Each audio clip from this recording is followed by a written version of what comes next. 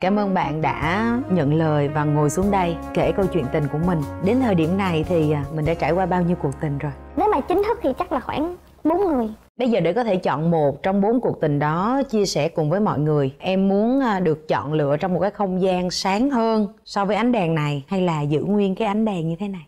Em có thể lựa chọn tối hơn. Vì sao? Tại vì em thấy ờ, nếu mà sau khi mà em chia sẻ cái câu chuyện này xong á Thì ờ, nếu em tệ quá. Em không muốn ờ, bị ném đá Hoặc là em cũng không muốn mọi người biết em là ai. Em bắt đầu câu chuyện bằng một cái sự ám thị rằng là mình đã rất là tệ trong cuộc tình đó. Có nghĩa là điểm qua bốn cuộc tình thì em cũng đã biết được rằng là mình sẽ xác định để kể cuộc tình nào rồi đúng không? Em nghĩ là vậy Lý do gì đặc biệt để mình quyết định kể câu chuyện tình đó mà không phải là ba câu chuyện tình còn lại?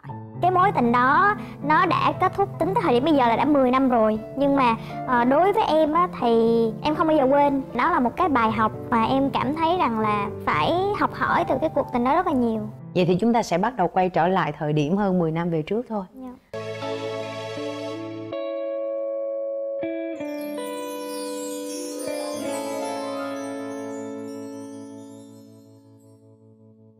Các bạn đã gặp nhau như thế nào để bắt đầu một chuyện tình?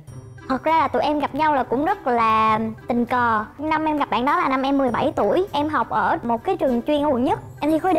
Em phải lựa chọn học toán văn Anh để mà ôn, ôn thi. Trong trường em thì có rất là nhiều thầy cô giáo dạy văn. Chắc là thời điểm đó cũng kiểu gì á Mà bạn bè em đều học thì em lại không học. Thì em lại lựa chọn là học ở một cái ờ, nơi ở ngoài. Bên ngoài. Trong cái lớp học thêm đó em đã gặp bạn đó. Mà em thích bạn đó từ cái ánh nhìn đầu tiên luôn cái sự rộn ràng cái sự sao xuyến mà mình bắt gặp cái bạn ấy trong cái lớp học thêm đó nó chính xác là một cái cảm xúc tình cảm chứ không phải đơn thuần là một cái sự chấn động bình thường. Giống như là em gặp được một cái người mà em cảm thấy họ làm Cái định định mình. mệnh của em luôn. Bây giờ mấy bạn Gen Z hay nói là bị rớt ngay từ cánh nhìn đầu tiên luôn. Ừ. em biết bạn này nó cũng rất là tình cờ là hồi xưa cái thời em là thời nó còn xài Yahoo rồi blog 360 thời em là thời chị đó. Thì thời điểm đó là em có chơi với một cô bạn rất là thân tên là Quỳnh là một nhân vật phụ trong cái câu chuyện của em thôi. Nhưng mà nhờ có cái nhân vật đó người bạn thân đó của em mà mới thúc đẩy được câu chuyện về sau. Cái thời đó mà nhà nào mà có được một cái PC để mà lên mạng á thì thì cũng khá là cũng gì và này nọ lắm rồi đó. Bạn nó mới qua nhà em chơi. Bạn em là một cái kiểu cô gái rất là hay thả thính nhiều người để được cái cảm giác là nhiều người thích mình, nhiều người theo đuổi mình nè. Trong cái đêm đó là cái danh sách chờ để nhắn tin với bạn em á, thì nó phải nói là nó dài hàng loạt luôn. Thì bạn nó mới nói là nhờ em trả lời hộ một vài cái tin nhắn ở đó. Thì vô tình là em thích ngay một cái tin nhắn bất kỳ thôi thì em trả lời. Thì bạn đó cũng nói là ờ bạn đó tên như vậy, rồi bạn đó học trường đó, vậy thôi. Nói chung là cho em những cái thông tin cơ bản mà hồi xưa thì thật sự là cái avatar nó nhỏ xíu à nó không thể nào mà thấy rõ mặt được. Bẵng đi đâu đó khoảng một, hai tháng thì bắt đầu em vào cái lớp học thêm đó thì tự nhiên từ cái mắt đầu tiên em nhìn thấy bạn đó là em cảm giác như là đã quen hay là đã biết rồi cũng thích rồi để đó thôi. Xong rồi về em mới gọi điện cho một cái người bạn học trường đó em nói là Ê, tao đi học lớp đó tao thấy cái thằng đó đẹp trai dữ lắm kiểu trắng trắng rồi đeo mắt kính. Bạn em mới nói là ờ bạn đó có một cái nickname. Thì về em mới lục lại tất cả những thông tin thì mới phát hiện là à thì là cái người mà mình nhắn tin trong cái đêm đó là cái bạn này luôn. Em thấy là giữa em với cái bạn đó có một cái gì đó nó đặc biệt đúng rồi, tính em thì hơi lanh chanh, thì em mới gọi điện cho bạn. Trời ơi, mày biết không? Tao đi học, tao đã thấy cái mặt thằng đó rồi, thằng đó đẹp trai dữ lắm. Thì tự nhiên sau 2 tuần, em đi học em phát hiện là con bạn của em quen thằng đó luôn và con bạn em là người chủ động để mà gặp. Em có nghĩ là cái việc họ gặp quen nhau là do cái sự xác nhận thông tin của mình hôm bữa không? dạ em nghĩ ờ, 99% là vậy. Bởi vì vốn dĩ có thể là cô bạn của em không có quan tâm đâu nhưng mà vì những thông tin em cung cấp nó hấp dẫn quá. Trai dễ thương. Được đúng rồi cảm giác của em khi biết rằng họ đã quen nhau là gì? Em bị buồn có một chút xíu cảm giác là bị phản bội. Bởi bạn của mình. Đúng rồi, em nghĩ thôi kệ Vẫn học chung lớp, vẫn chơi chung với bạn. Thì bắt đầu là bạn nam á Bạn đó bắt đầu ờ, nói chuyện với em nhiều hơn. Vì cái lý do là bạn đó muốn hiểu nhiều hơn Về cái người bạn thân của em. Ừ. Rồi lúc đó em cảm thấy ờ, bị buồn á chị. Tại vì, ủa tuổi thân. Alo, thời điểm đó em thấy chắc em vĩ đại lắm Tại vì em ở ngoài em tỏ ra rất là willing, em rất là sẵn sàng và em giúp đỡ. Mọi việc nó cứ đến như thế Nhưng mà thật ra cái bản chất của bạn em á là người bạn của em là cả hàng chống chán em với cái người bạn nam trong lớp thì cứ học chung xong rồi cứ nói chuyện với nhau nhiều. Cũng nhiều cái nó xô đẩy lắm chị. Ví dụ như hồi xưa ngồi á là hai đứa chị biết là nam sẽ ngồi một bên và nữ sẽ ngồi một bên. Thì đi học thêm cái từ từ em ngồi sau bạn đó vài dãy xong cái không biết bằng cái cách nào. Cứ dời lên dời lên dời lên và cuối cùng là hai đứa ngồi chung với nhau. Ừ. mà kiểu học sinh hồi xưa là hay vừa học vừa nói chuyện riêng này nọ. Xong rồi bắt đầu là những cái lần cúp học đi chơi đi chơi với hai đứa mà là nhiều bạn nữa nó thích bạn nói vậy thôi nhưng mà thật ra là mình lúc mà đi học ở trong trường chính quy á thì cũng có để ý một cái bạn đó cái thời điểm thật ra em em bị một cái bệnh như này. Em hay dùng một người để mà em khỏa lấp cho một cái uh, tổn thương hoặc là một cái nỗi buồn trước đó. Thì uh, em cũng thích. Xong rồi đương nhiên là em bị từ chối rồi thì em mới gọi điện cho con bạn của em. Em khóc quá trời vì vô tình là bạn đó với bạn nam đang nói chuyện điện thoại với nhau mà hồi xưa có có một cái chế độ là conversation là cuộc gọi thoại nhóm á chị. Thì mới link vô. Thì bạn kia nghe em khóc cái xong bạn đã im một hơi luôn. Cái xong rồi em thấy em vô duyên quá. Từ sau cái ngày hôm đó em lại cảm thấy là cái người bạn nam kia họ lại uh, giống như họ thấy tội mình hay gì đó. Tâm em hơn họ tử tế với mình hơn bắt đầu thân hơn. Mỗi ngày đi học thêm mà bạn đó đứng đợi em trước cổng trường để hai đứa vô lớp chung. Hay là em sẽ mua cái gì đó cho bạn đó. Hay là bạn đó mua cái gì đó cho em chuẩn bị cái gì đó cho em. Thì em nghĩ là chắc bạn thân thôi. Vô tư. Hay là tại vì em nghĩ đơn giản là bạn kia đang quen với bạn gái của em rồi. Em không biết nhưng mà lúc đó thật ra là tụi em em vẫn khẳng định nha là em rất tôn trọng cái mối quan hệ của quỳnh và bạn nam kia. Đến một hôm em nhớ hoài luôn là cái đợt đó là trước lễ um, 20 tháng 11 thì em có đi hát văn nghệ trong trường. Trường em thì gần nhà thờ đức bà. Thì mới đi ra nhà thờ đức bà thì vô tình là nhà bạn đó cũng gần nhà thờ đức bà thế là cái buổi hẹn nó thành một buổi hẹn đi coi phim. Thì hai đứa tự nhiên đi coi phim. Có những cái cử chỉ nó nó hơn một người bạn một chút. Thí dụ như là bạn đó sẽ dắt tay em đi vô coi phim xong em gặp một cái um, bà mẹ bà đang nạt con trong rạp thì em bị hết hồn thì bạn đó ôm em ôm cái đầu em lại kiểu không cho em thấy hết phim. Thì hai đứa đi về thì lại gặp trời mưa xong rồi hai đứa dắt tay nhau chạy dưới mưa chạy hồn rùa xong cái cuộc đi chơi đó về mắc cười nhất em là không thể bình thường được sau cuộc đi chơi đó. Không em vẫn bình thường. Sau cuộc đi chơi đó thì vô tình là ngay chiều hôm đó là con bạn của em gọi điện chia tay luôn. Vì lý do là anh đi ở đâu mà em gọi điện thoại anh không nghe máy. Em nhắn tin anh không trả lời. Quỳnh bạn bạn nam mới chia tay. Thì tụi em vẫn bình thường. Em vẫn nói là bạn này là người yêu cũ của bạn em. Em không quen.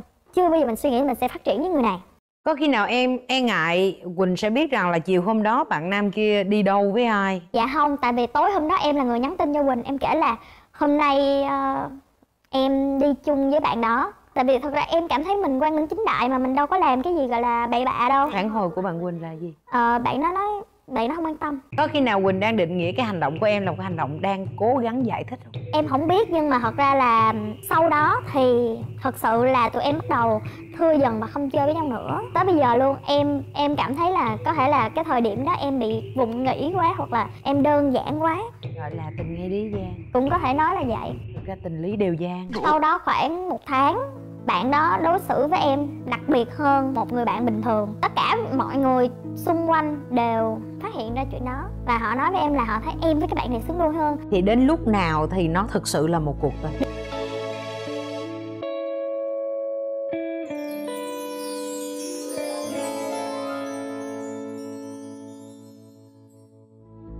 đến cái lúc là ngày 1 à, tháng 12 tức là lúc đấy mình đã gặp gỡ trong đời nhau được bao nhiêu lâu rồi? Khoảng uh, ờ, 6 tháng 7 tháng. Thì bạn đó uh, tỏ tình với em. Vì những cái sự cứ xích lại xích lại một cách tự nhiên như vậy mà đến một lúc bạn ấy tỏ tình. Đúng rồi bạn đó hỏi em là em có thể làm bạn gái bạn đó không? Thì em bảo là không.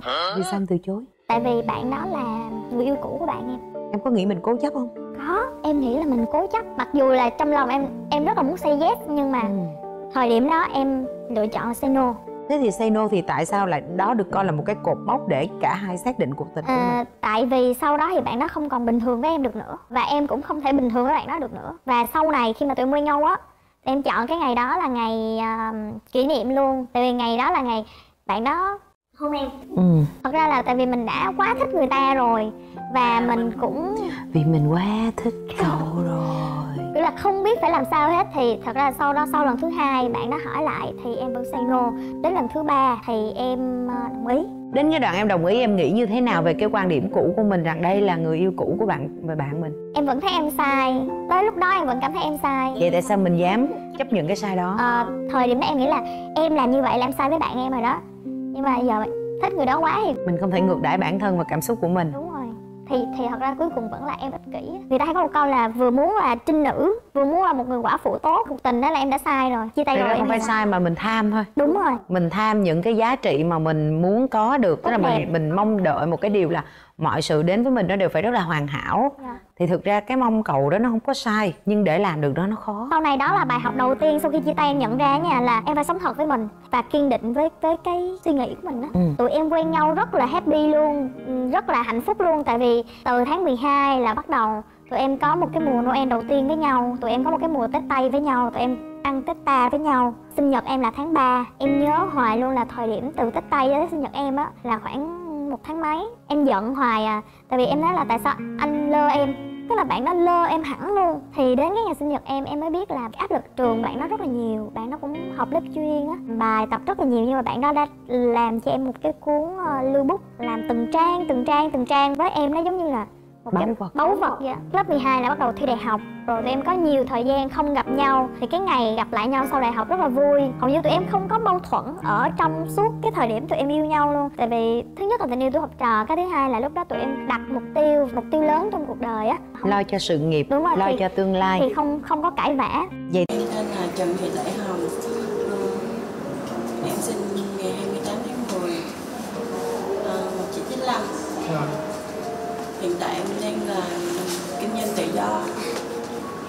Rồi, chị Hồng Đào quận 7 Dạ em đang học quận 7 Kinh doanh tự do là kinh doanh ờ, mặt hàng gì? Cho thuê phòng trọ tại quận 7 Cho bao nhiêu phòng em? khoảng 50 phòng 50 phòng Là nhà này của em hay là sao? Em thuê nhà xong em cho thuê lại À, 50 phòng là nó nó là trong một cái dãy luôn hay là như thế nào? Nhiều phòng Có nhiều nhà Nhiều nhà hả? Là mỗi nơi rải rác hết hay là hết quận 7 hả? Gãy gác ở quận 7 À. Rồi em làm cái đó là có ai phụ em không? Dạ lúc trước thì em có hợp tác chung với bạn À. Còn bây giờ là một mình em luôn? Cũng còn một vài căn hợp tác chung với bạn Ừ. Bạn gái hay bạn trai? Bạn gái Rồi em làm cái này là lâu chưa? Em làm cũng khoảng 3 năm Ừ. Trước đó em có làm khác không?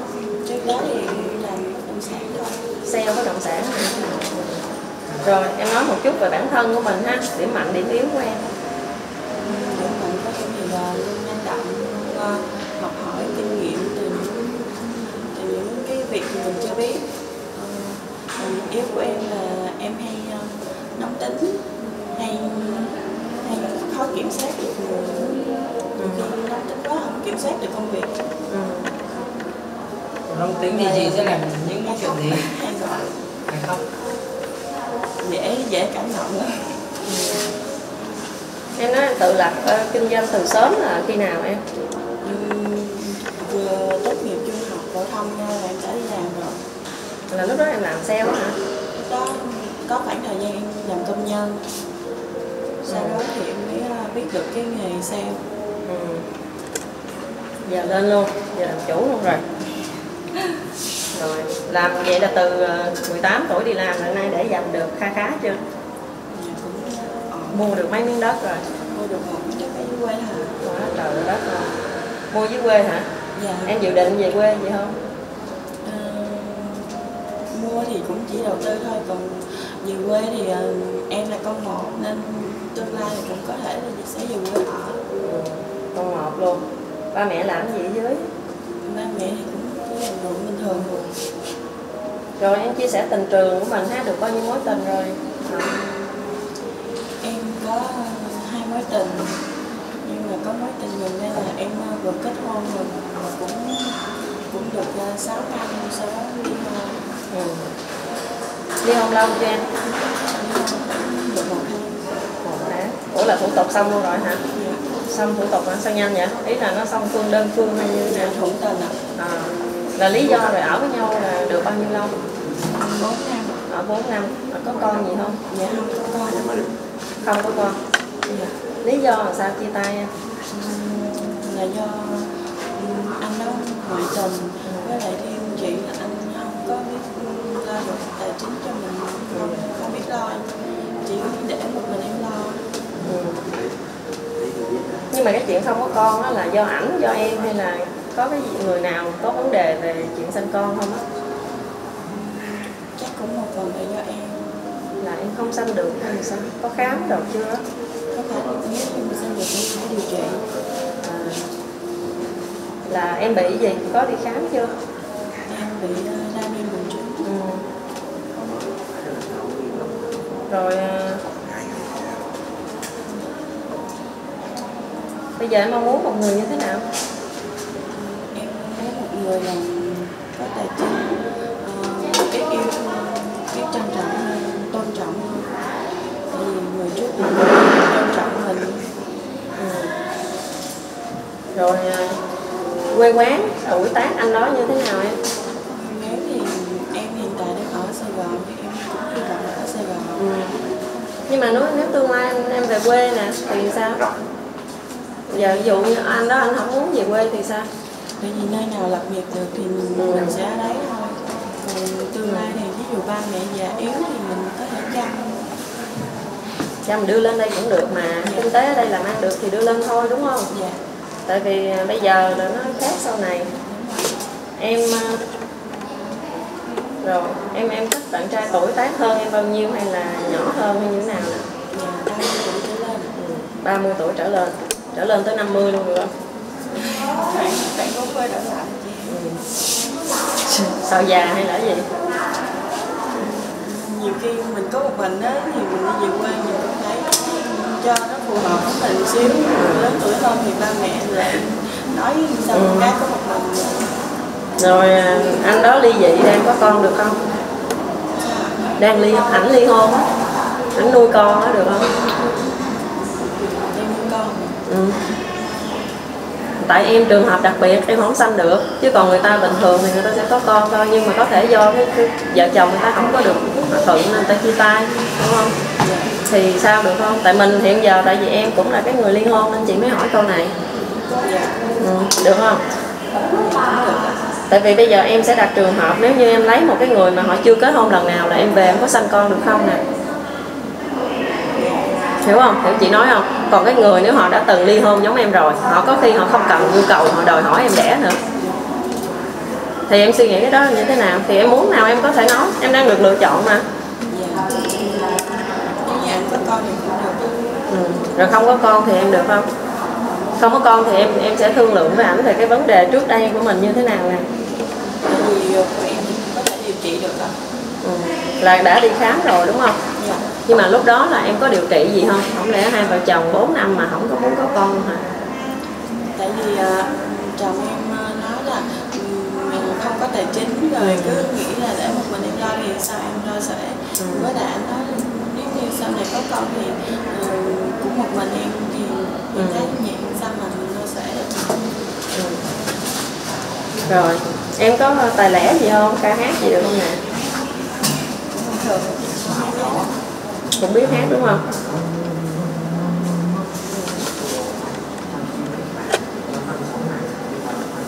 Rồi em đăng ký chương trình là do em tự đăng ký hay có ai? Dạ em tự em ký ạ. lý do làm sao em muốn đăng ký chương trình? Tại vì um, ba mẹ cũng nói là um, muốn có một người công nghệ cho nó nhà vui cửa tại vì người kia đi rồi cũng đang rất là buồn rồi nhưng mà rồi tại vì bây giờ mình mình đi lên chương trình thì mình cũng phải tìm hiểu trong một thời gian nữa. Đi nhưng mà ở bên ngoài em có khó tìm được bạn không? Chị thấy cũng năng động mà làm quá trời luôn. Ờ vậy tại sao những người bên ngoài thấy không được hay sao em? Tại vì thì đó. em ờ, hồi đó em chưa có mở lòng với người nào khác do em suy nghĩ là em có chồng rồi ừ. bây giờ thì em mở lòng hơn chưa có tìm được người liền ừ. nhưng mà cái lúc em kết hôn là anh đó anh có kinh tế đồ tốt không Ờ, lúc đầu thì em không biết nhưng mà sau đó về thì em biết là anh anh À. nhiều mà sau đó trong thời gian sống chung thì anh cũng không có ý chí để có nghĩa anh cũng có đi làm được. Ừ. nhưng mà cái cái số nợ đó vẫn cứ duy trì không hết không hết. Nhưng mà cũng ở với nhau 4 năm luôn ha đúng không? Là là cũng có khoảng thời gian hạnh phúc ban đầu gì không? Dạ có ờ, ban đầu cũng hạnh phúc nhưng mà được bao lâu? Được một tháng một năm hay là bao nhiêu cưới về khoảng một năm thì anh là có người khác ừ. em cũng cố gắng tha thứ nhưng mà em cứ luôn nhớ tới mà thì nó cứ như ảnh làm cái gì em? Cũng sale bất động sản. À. rồi. Em chịu theo chồng gì không? Hay là em chỉ muốn ở sài gòn thôi? Tại hiện tại em đang làm việc ở đây Ừ. có không thích người miền nào không? Dạ. Ừ. ba mẹ có kém gì không đó? Ba mẹ hy vọng là người người miền Nam của mình À. được tốt thôi. Rồi. Ok em. Rồi được rồi. Dạ. Nếu được chọn thì chương trình liên lạc lại với mình ha. Rồi hướng dẫn thêm cho em nha. Dạ. Rồi xong rồi cảm ơn em